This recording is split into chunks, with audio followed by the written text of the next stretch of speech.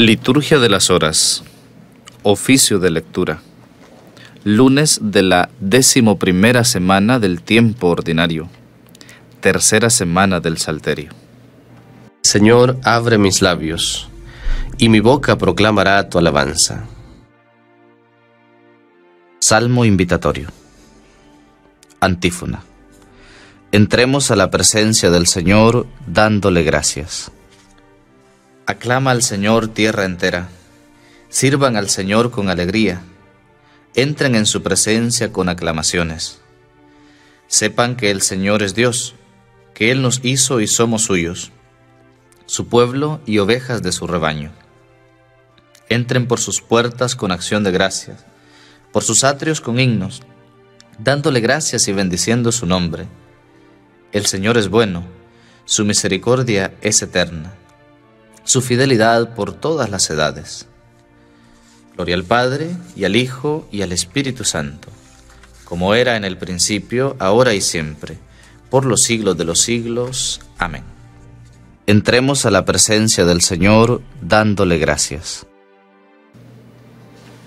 Himno.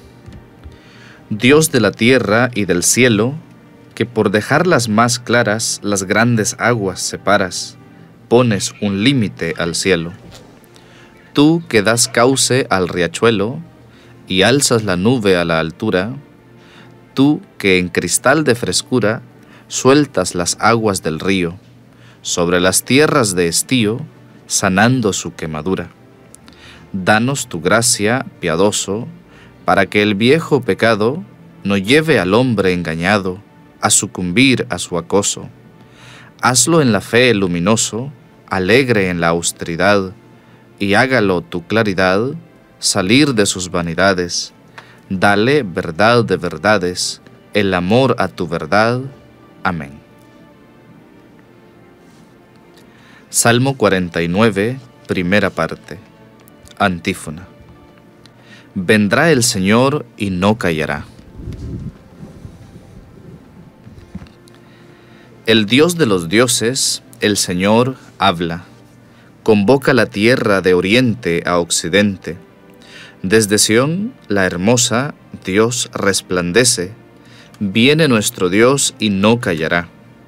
Lo precede fuego voraz, lo rodea tempestad violenta. Desde lo alto convoca cielo y tierra para juzgar a su pueblo. Congregadme a mis fieles que sellaron mi pacto con un sacrificio Proclame el cielo su justicia, Dios en persona va a juzgar. Gloria al Padre, y al Hijo, y al Espíritu Santo, como era en el principio, ahora y siempre, por los siglos de los siglos. Amén. Vendrá el Señor y no callará. Salmo 49, segunda parte. Antífona ofrece a Dios un sacrificio de alabanza. Escucha, pueblo mío, que voy a hablarte. Israel, voy a dar testimonio contra ti, yo el Señor tu Dios. No te reprocho tus sacrificios, pues siempre están tus holocaustos ante mí, pero no aceptaré un becerro de tu casa, ni un cabrito de tus rebaños, pues las fieras de la selva son mías, y hay miles de bestias en mis montes. Conozco todos los pájaros del cielo, tengo a mano cuanto se agita en los campos. Si tuviera hambre, no te lo diría, pues el orbe y cuanto lo llena es mío. ¿Comeré yo carne de toros? ¿Beberé sangre de cabritos? Ofrece a Dios un sacrificio de alabanza, cumple tus votos al Altísimo, e invócame el día del peligro yo te libraré, y tú me darás gloria. Gloria al Padre, y al Hijo, y al Espíritu Santo, como era en el principio, ahora y siempre, por los siglos de los siglos. Amén. Ofrece a Dios un sacrificio de alabanza. Salmo 49, tercera parte. Antífona. Quiero misericordia y no sacrificios, conocimiento de Dios más que holocaustos. Dios dice al pecador, ¿por qué recitas mis preceptos y tienes siempre en la boca mi alianza? Tú que detestas mi enseñanza y te echas a la espalda mis mandatos. Cuando ves un ladrón, corres con él, te mezclas con los adúlteros Sueltas tu lengua para el mal, tu boca urde el engaño. Te sientas a hablar contra tu hermano, deshonras al hijo de tu madre. ¿Esto haces y me voy a callar? ¿Crees que soy como tú? Te acusaré, te lo echaré en cara. Atención los que olvidáis a Dios, no sea que os destroce sin remedio. El que me ofrece acción de gracias, ese me honra al que sigue buen camino, le haré ver la salvación de Dios. Gloria al Padre, y al Hijo, y al Espíritu Santo, como era en el principio, ahora y siempre, por los siglos de los siglos. Amén. Quiero misericordia y no sacrificios, conocimiento de Dios más que holocaustos. Versículo. Escucha, pueblo mío, que voy a hablarte yo, el Señor, tu Dios. Lectura bíblica. Comienza el libro de Esdras.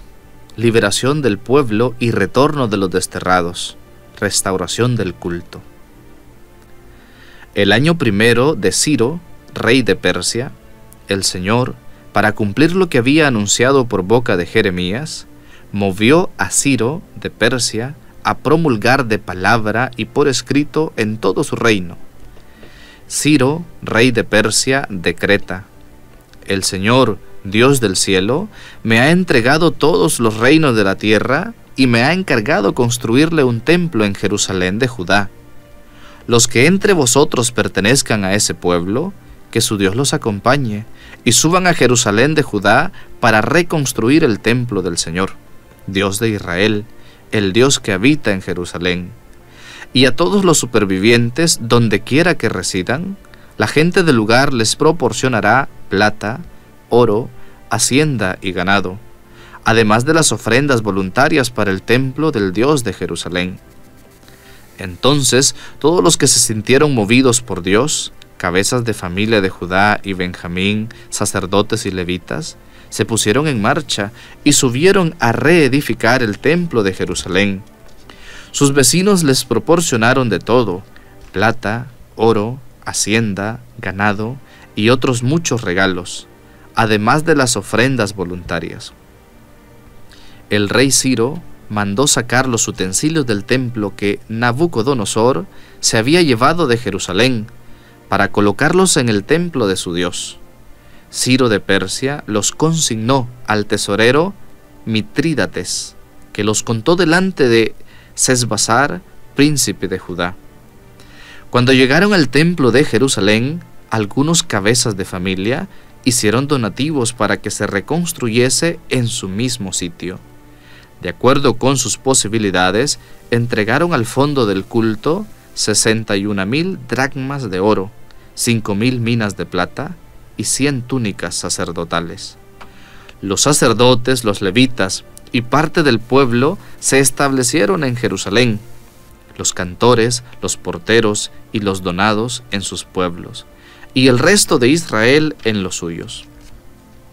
Los israelitas se encontraban ya en sus poblaciones, cuando al llegar el séptimo mes se reunieron todos a una en Jerusalén. Entonces Josué, hijo de Josadac, con sus parientes los sacerdotes, y Zorobabel, hijo de Salatiel, con sus parientes, se pusieron a construir el altar del Dios de Israel para ofrecer en él holocaustos, como manda la ley de Moisés, hombre de Dios. Levantaron el altar en su antiguo sitio, aunque intimidados por los colonos extranjeros, y ofrecieron en él al Señor los holocaustos matutinos y vespertinos.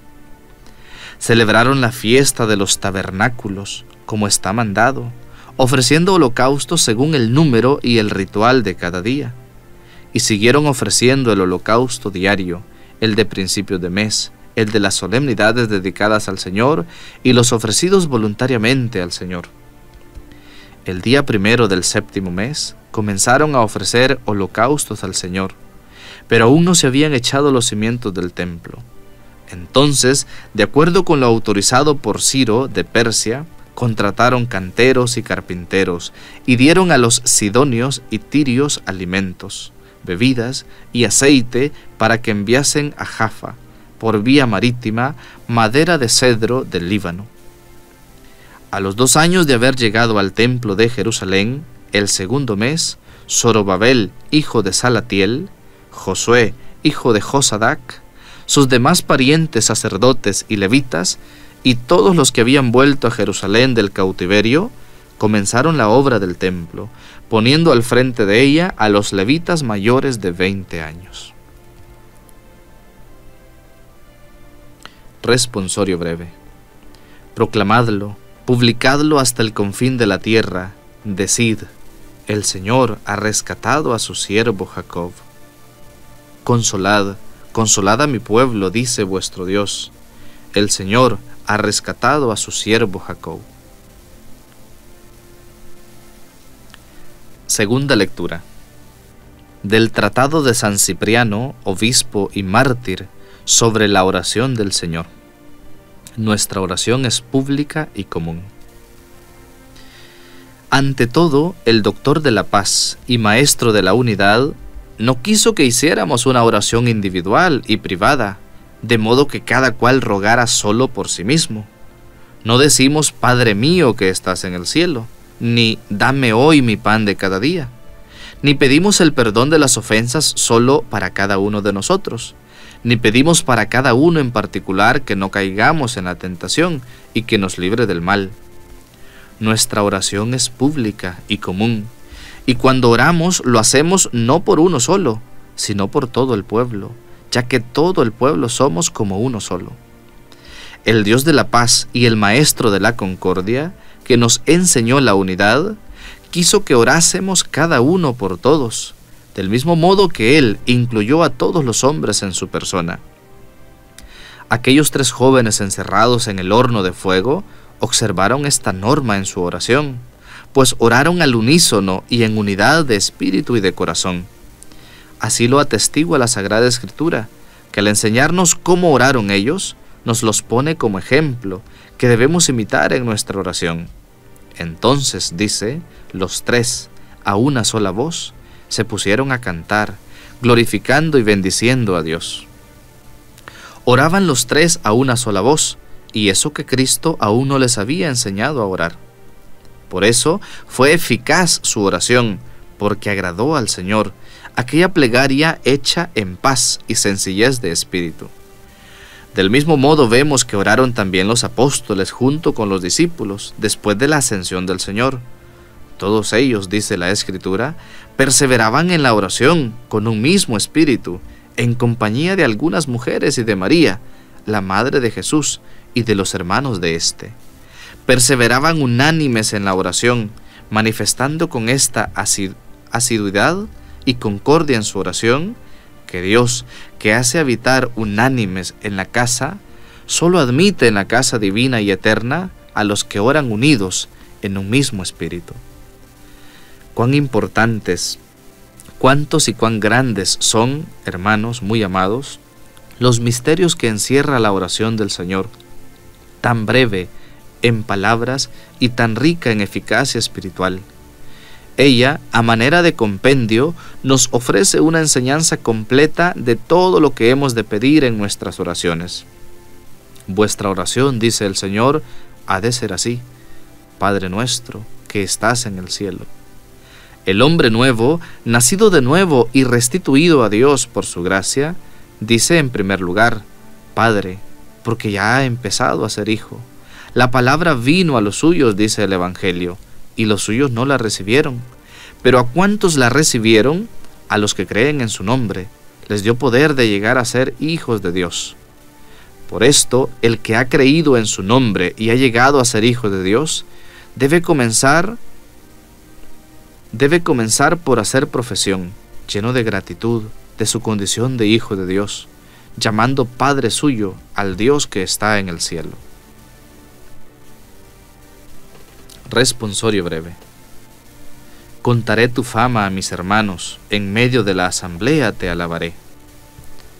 Te daré gracias ante los pueblos, Señor, tocaré para ti ante las naciones. En medio de la asamblea te alabaré. Oración. Oh Dios, fuerza de los que en ti esperan, escucha nuestras súplicas, y puesto que el hombre es frágil y sin ti nada puede, concédenos la ayuda de tu gracia para observar tus mandamientos y agradarte con nuestros deseos y acciones. Por Jesucristo nuestro Señor. Amén. El Señor esté con ustedes y con tu espíritu. Y la bendición de Dios Todopoderoso, Padre, Hijo y Espíritu Santo, descienda sobre ustedes y les acompañe siempre. Amén.